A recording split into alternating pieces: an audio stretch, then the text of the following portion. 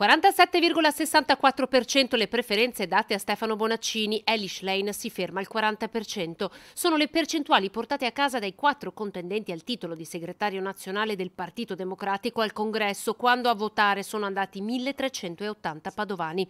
Le percentuali della città del Santo danno per favorito il governatore dell'Emilia Romagna in linea con quelle nazionali, ma è proprio a Padova che Schlein dimostra di avere un grande appeal. Iscritti al partito sono 2000 elettori.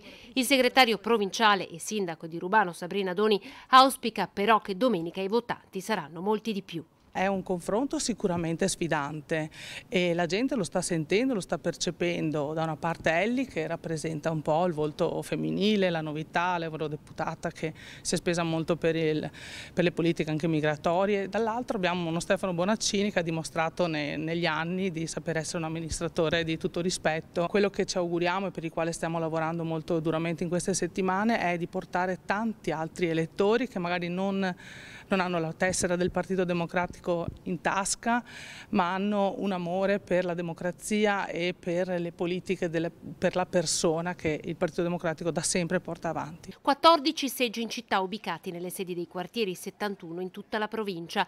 Domenica si vota anche per l'Assemblea nazionale, 9 i posti padovani appetibili. Ecco le liste, tra i nomi per Bonaccini tanti amministratori pubblici, sindaci di Campo San Piero, Due Carrare, Piove di Sacco, capolista il vice sindaco Andrea Michalizzi. Nella lista Schlein, capolista Vanessa Camani, accanto a lei la consigliera Etta Andrella.